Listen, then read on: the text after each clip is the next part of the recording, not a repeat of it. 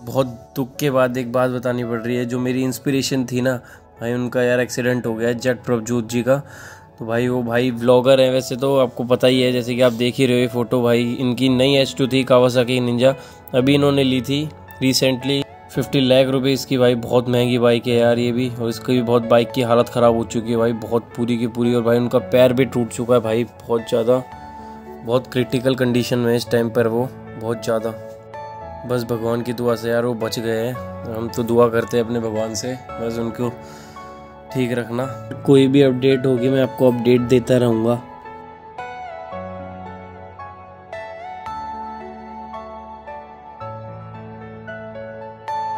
Are you all my personal dreams?